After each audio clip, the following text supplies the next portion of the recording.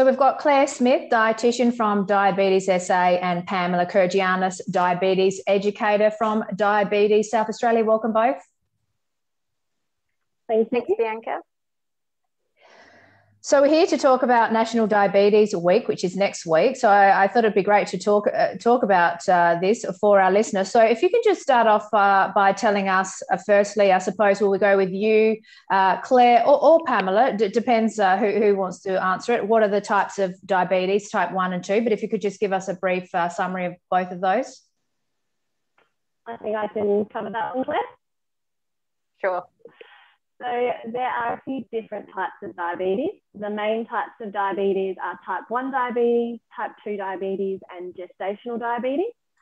Type 1 diabetes is an autoimmune condition where the immune system has attacked the pancreas and it's no longer able to make insulin, which is a hormone, and insulin is what we need to get the energy out of our blood, so that glucose, and into our muscles where we can use it. So for someone with type 1 diabetes, they're unable to make any insulin at all. Someone living with type 2 diabetes, it's a bit different. The insulin that they do make either doesn't work very well um, or they, run the insulin that they make as well. Um, and then there's gestational diabetes, which is just a form of diabetes that is diagnosed during pregnancy um, and generally resolves after the woman has given birth. Okay. All right. And the main symptoms of diabetes? Um, so, there's tiredness, increased thirst, um, increased toileting as well. Um, so what happens is that in diabetes, all the energy, the glucose or the sugar, it, it's in the bloodstream and it's not in the parts of the body where it can be used for energy. So that's why people get tired. Um, and then they end up drinking a lot of water because they yeah. try to flush that glucose out of the bloodstream. And so they end up going to the toilet quite a lot as well. So, what are some of the things that people can do to, um, you know, prevent this? Let's let's start there. I suppose is that something for you, Claire? Question for you? Yeah, sure. So, um, uh, about fifty-eight percent of uh, cases of type two diabetes can be prevented through healthy lifestyle. So that that's things like healthy eating, regular activity, quitting smoking, reducing alcohol uh, intake, um, you know, higher intakes of fruit and vegetables, those sorts of things. Um, but for other people, there is a, a, a genetic component as well mm. um, age, gender, cultural background. So, Aboriginal Australians and um, some culturally and like linguistically diverse communities are a much higher risk as well. So, there's both what we call modifiable risk factors, things we can change, and then the non modifiable yeah. risk factors, the things that we can't change all of them contribute to the development of type 2 diabetes, especially. So, what smoking and drinking can increase chances of getting diabetes? Sure. Yeah. That's interesting. definitely. Yeah, evidence to support that. Uh, smoking, especially, is linked with a whole range of chronic conditions, not just diabetes, um, alcohol intake as well, but particularly the physical activity, the healthy eating, yeah. um, other factors as well. Mm. And what's a regular sort of blood sugar for someone who does not have diabetes? And then when, what are the levels that aren't good where it's creeping up? Sure. Um, so, Pamela, are you happy for me to answer that one? Sure. Um, so, for someone not living with diabetes, blood glucose levels will fluctuate between about 3.5 to 8 millimoles per litre. Um, and someone and that's through, say, like a finger prick test. Uh, someone living with diabetes, our aim is to uh, have their blood glucose levels as close to that kind of four to 10 range. Um, and that mm. can change depending on type of diabetes. Um, so, really, over 10, over 15 is where we start to be quite concerned for those uh, blood glucose levels. Mm. Now, you said it, it's also that genetic component. I mean, obviously people if it's if it runs in families and uh, can people what can they do to avoid that again just healthy lifestyle more regular checkups just be on top of it more and just eat a little bit differently yeah certainly those things can help obviously um, we can't change genetics and family history. So if that is uh, a risk factor for someone, there's not a huge amount we can do about that in isolation. Yeah. Um, but as you said, uh, you know, focusing on the things that we can modify, the healthy mm. eating, the regular activity, all of those things will help yeah. reduce risk. Yeah. And can so stress and medications can affect this onset also? Do you want me to say that one, sir? Yeah, sure. Yeah, so um, high levels of stress for long periods of time can cause an elevation in blood sugar levels um, and potentially can increase the risk of someone developing diabetes. There are certain, certainly some medications as well, um, particularly medications to treat mental health conditions or things like steroids, which people may be on long term. That can definitely contribute to the risk of developing type 2 diabetes as well. for someone to say, is the medications that I'm on, are they going to increase my risk of developing type 2 diabetes? And then I suppose the other thing people can do as well is that we do actually have a screening tool. So if people don't have diabetes, but they want to know if they yeah, sorry, Pamela, we, we are just losing a bit of the audio, sort of on and off. We're losing the audio. Oh, sorry. Can you? Is that a bit better? Yeah, well, we'll, we'll see. We'll see how we go. Um, Claire, I was just talking about the AUSDRISK tool. So maybe do you want to pick yeah. it up from there? Sure. Yeah. Um, so Pamela was just alluding to the AUSDRISK tool, which is a risk assessment questionnaire that people can go online. We have a, a mm. website called facethefacts.org.au, mm. and it's a series of questions that um, guides the person through around age, gender, um, smoking, family history, mm. those risk factors, as well as healthy eating, waist circumference, physical activity. Um, each question has a score correlated to it that then gets totaled up um, to identify the person's risk uh, for developing type 2 diabetes in the next five years. Okay. Now, uh, I understand sort of uh, portion size is vital as well. You know, you hear people saying, you know, I can eat this, I'm going to have a lot of it. I mean, obviously, we, we know that that's not the best thing, but can you just talk us through that, like nutrition and portion size? And actually, if we can also, while we're here, go into that the point of what we should eat. Like maybe yeah, it's sure. some meal plans, breakfast, lunch, dinner, and snacks.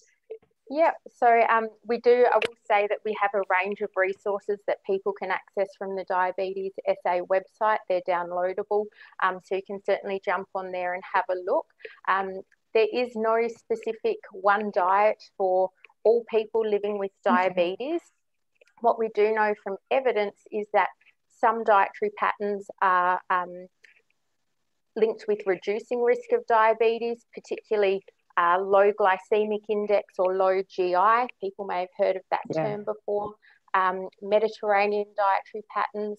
Uh, in some cases, lower carbohydrate uh, dietary patterns can be beneficial, um, but everyone is a little bit different. Mm. So, we do encourage particularly when people are diagnosed with diabetes, that they have a check in with um, an accredited practicing dietitian, um, and you can access yeah. those through a chronic disease care plan. Um, but really, if we can take a step back, what healthy eating for people with diabetes looks like is what we would encourage all Australians to be doing plenty yeah. of vegetables, a little bit of fruit, grainy carbohydrates, uh, lean protein choices, uh, dairy foods, and some healthy fats and oils such as olive oil, um, drinking water, and just reducing our intake of what we call those sometimes foods or takeaway foods, those more highly processed foods that are much higher in sugar, salt, and fat, and they're um, the factors that will increase risk for diabetes. So, what fruits are better to eat? Uh, things like berries have less sugar, bananas have too much sugar. What are some good fruits? Yeah, so there's a, a lot of misconceptions out there, particularly around fruit. All fruit is on the table. Uh, what we find is more important to talk about is the portion size. So, yeah. with fruit portions, aiming for two serves per day, and a portion looks like something that fits into the palm of your hand quite comfortably. So an apple or a pear yeah. um, fits into your hand really comfortably. A um, mandarins are a bit smaller, so you might fit two of those equate to one serve. Okay. But sh- should should we be avoiding? I mean, a diabetic wouldn't wouldn't be wanting to have two pieces of fruit daily, would they? Yep, yep. It's, still okay. Eating. We'd probably just encourage that all that that fruit, which is a carbohydrate food, it does break down into glucose. We don't want to consume that all at once. So our advice tends to be to split that throughout the day. Maybe yeah. have a piece okay. of morning tea, a piece of afternoon tea, mm. rather than have a big serve all at once. And to um, try to uh, cut back on things like fruit juice that gets broken yeah. down very quickly by the body. Your whole fruit is a much better choice. Mm-hmm. Now, what about uh, when women are going through menopause? Can that increase the chances of them getting diabetes? So it can, uh, menopause can uh, change hormones uh, in the body, and that can certainly for women change um, how they're, they're storing their body weight. And that typically means that weight starts to store around the abdomen um, and that waist circumference can mm. increase, which is a risk factor. Um, a larger waist circumference is a risk factor for developing yeah. type 2 diabetes. Um, so that can be a concern or something to think about um, if that's the, the stage of life that you're at or about to enter into. Um, mm. And things like regular physical activity can help counter some of those, um, I guess, consequences of things like menopause. Yeah gee, we can't underestimate the power of exercise, and we hear that all the time for, for many different things. What isn't yeah. it just like half an hour a day or half an hour three times a week? What, what do you recommend yeah. for diabetes? Yeah, we recommend uh, 30 minutes on most days of the week of um, exercise that gets your heart rate up, but you can still hold a conversation. So that might be going for a walk or yeah. um, for some a run or a bike ride. We also encourage that weight bearing activity twice a week. So that might be um, something okay. that involves weights or resistance exercise. Um, and just get just moving more for some people is a really um, achievable goal. Uh, sitting less, moving more. So why are weights also good? Is it good for the bones yeah. and? Yeah, it's good for bone strength and bone density. Um, and it's also basically our muscles are like glucose sponges. They soak up the, the sugar or the glucose that's in our bloodstream and they use it when they're used. So you might have heard the saying really? with muscles, use them or lose them. Our muscles love to use that glucose for energy. Um, so the more we move our body, the more our muscles are taking that glucose from the bloodstream and utilizing it. So that helps mm. to hmm. lower blood glucose levels over a long period of time but specifically like having weights, using weights for different body parts. Yeah, yeah, that can certainly help build muscle as well. Um, and so the more muscle that we have, and it's not necessarily saying that we need to go out and be bodybuilders or anything yeah. like that, but um, muscle has that appetite for glucose or sugar. So the more muscle we have, um, the more the better able our body is able to use the glucose that's in our bloodstream. All right. Um, just a few questions uh, I've got here also from a few people that are curious. Uh, truck drivers, uh, people that are on the road, people with such jobs, you know, it's not always easy to have meals planned. What can they snack on? Nuts and seeds, fruit, yeah, so anything that would um, we would classify as a core food is probably something more preferable. So core foods are typically our fruit, our vegetables, our dairy, our lean proteins, and that can certainly include things like nuts and seeds, yeah. and our whole grains. So grainy crackers, cheese and crackers. Um, again, it depends on um, what's accessible, affordable, and available around people. Um, but yeah. that's also where a one on one consult with a dietitian can really help to tailor um, what an individual um, is best suited to choosing or some ideas and strategies to assist them. Yeah. And so, what are some of the things that can happen if people don't take care of their diabetes and blood sugar levels? If they get a little bit sort of relaxed and don't you know do follow all these things Pamela, do you want to jump in here? Sure. Uh, we'll see how we go. If I start cutting out, just let me know and Claire can take over. Um, but there, because the blood flows throughout the whole body, that means the sugar and the glucose flows throughout the whole body. So the whole body could be affected if blood glucose levels are high. So particularly some areas of the body that we want to um, we would talk about is the heart. So people are at an increased risk of a heart attack. Um, the brain, they're at an increased risk of stroke, maybe lower limb amputations as well. And then there's some other areas like your kidneys or your eyes and the nerves that can be affected as well. So there's quite a large part of the body that can be affected by diabetes. But the important thing to remember is that it, um, with good lifestyle, healthy lifestyle habits, you can really help to manage um, blood glucose levels and bring them into that um, healthy range. And that helps to reduce or delay the development of those sorts of complications. Mm-hmm. And sometimes lifestyle might not be enough, and you might need medications to help assist as well. And that's completely fine too. Now, with insulin, people that take insulin daily, are, are there some days that they don't need it, or, or I mean, how does that work? And, and are, are, there effects? Does it like build up? Do you have to have less or more? Or does it have long term effects? Does it affect the hair, the skin? Yeah. Um, so insulin um, these days is actually made really, really well. So it's pretty much identical to the um, insulin that our body makes um, on its own. So someone with type 1 diabetes, because they don't make insulin, they're going to need insulin every single yeah. day and they'll need there's a few different types of insulin. So there's one that lasts for a longer period of time, and then one that's short acting that they would use before a meal. So they'll have to use both of those types of insulin. Mm-hmm. Someone with type 2 diabetes, though, they might only be on the long acting to start, and that would just to help the body manage those blood glucose levels. Because it's the insulin, is similar to the insulin that our body makes, um, there's no real risks in terms of hair loss or, or um, like skin or anything like that. Um, some people will experience weight gain when they start insulin. So it's really important that you have mm. conversations with the doctor to make sure that they're adjusting the insulin so it's the right dose for you. Uh, so what is you said it's pretty close, if not identical to human insulin. Then what's it made of?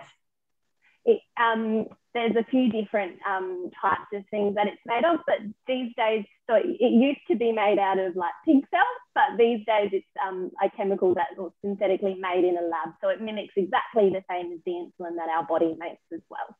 Uh, okay. So, so they're, they're, mm-hmm. they're, they're the same. Do they still use the former? No, they, oh. not not no. oh, but they the, did. But not, they did yeah, that's how it started. Interesting. So it started from animals, yeah, and we've come a very wow. long way. So now we're pretty much at what humans make, yeah. So we don't use the we don't use the pig one anymore. well, well, they're using like um, pig arteries, or, or, well, I know someone who had a pig uh, valve put in their heart. You know, the there's a place for all this stuff. I know it sounds a bit way out, but there's a place for it. Yeah, we've come a long way though with insulin. Yeah, we're going back years ago though. This person, so yeah, yeah you're right. Things have uh, definitely definitely changed. All right. Okay, so we've got uh, we've got a few a few more questions. Um, another question. Uh, we probably know the answer to this, but I'll ask it anyway. Can it be reversed? You know, no more insulin. Like, can someone sort of just miraculously wake up one day and not, you know, I don't know. Have you heard of those cases? Have you heard of those cases that you know they're told they'll have this forever, and then they've done some drastic changes, and and they don't have it anymore? Yeah. So for someone with type one diabetes, that wouldn't be the case because their body is unable to make insulin, so they will not be able to reverse their diabetes. Someone with type two diabetes, if it's early on in their diagnosis and they've made significant lifestyle changes they can potentially put their diabetes into remission. We would never say they've yeah. cured themselves of diabetes though, because if they pick up those unhealthy um, lifestyle habits, the diabetes will come back. Um, that's why it's really important that we identify people early on um, and don't let them go for years and years and years without getting diagnosed with diabetes. Yeah. because the longer you've had it, the, it can be harder to get into that remission. It's not impossible, um, but it does require a fair bit of effort from the person. Okay. Um, and also, life expectancy with people with type 1 diabetes is, is just the same as someone who doesn't have diabetes? Is it exactly the same or is it different? Um, well, well managed diabetes. Um, Claire, you might want to correct me on this, but if diabetes is well managed, I believe the life expectancy is similar to that of someone who doesn't have diabetes. Whereas if um, diabetes is not well managed um, and they develop complications early, then that can have an impact on um, lifespan. Yeah. Okay. driving home that message of early detection. Yeah, of course, of course. But I, I suppose it's, it's, also, you know, you've heard people say, does the insulin, you know, okay, we say that people with type 1 diabetes can live on insulin perfectly well, but does it sort of affect other organs and does it have some negative effects like weaken something and then you need medication for that other yeah no so insulin itself the real um, i suppose side effect with insulin is generally that weight gain um, yeah. because insulin does help to also store fat um, so it can have the ability to cause weight gain but like I said earlier, our bodies make it and we're born with yes. it um, and we need it for so many other different um, in the body as well. So it's not going to cause another like a negative effect on another part of the body because we make it and we do need it. Yeah. All right. Now, how can people? Uh, what can people do? Firstly, for next week. I mean, can they donate? Can they get involved? Are there? How can people help?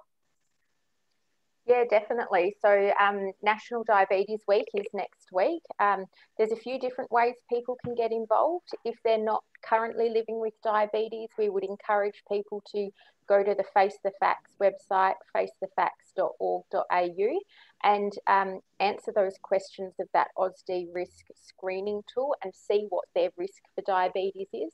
And follow up with your GP. Um, there's some tests yeah. the, the doctor can do um, to see what your blood glucose levels are at at the moment. For people who are living with diabetes, uh, we're encouraging them to check in with their uh, medical team, so their GP, their diabetes educator. There's a process called the annual cycle of care, and that um, outlines all the checks that we're encouraging people living with diabetes to have done each year. Mm. So get their um, blood glucose levels checked, their blood pressure, cholesterol, feet. Um, there's a whole range of checks as yeah. part of that annual cycle of care. And the, uh, the goal of that is to really pick up if there's risk of any of those long term effects or long term complications so that we know about them early and we can do something about it to prevent them and finally, for health professionals, um, we do have a campaign kit and some posters that people can um, distribute and put up in their workplaces um, to raise awareness of diabetes and what people can yeah. do about it. Um, and then the final thing is Diabetes SA is holding a seminar. We do this every year for National Diabetes Week at the Adelaide Convention Centre. Um, we have three different speakers and uh, they're focusing on some of the long term, uh, some of the complications and effects of diabetes and how we can prevent and manage them. So, um, if people jump onto our website, diabetessa.com.au, um, they'll be able to access those events, information, and um, some of the campaign posters and, and kits. And you'll be sending them out, or people can come to your office if they don't want to wait for, for it to be sent out? Yeah, sure. Yeah. Yeah. Excellent. All right. Is there anything else we need to cover before we sign out? Don't think so. I think we've covered quite a lot today. So, yeah. Thank you. Thank you both very Thanks much for, joining. Thanks, Bianca. Thank you. You're welcome. Thank you, Thank you very much. Thank you. Bye bye.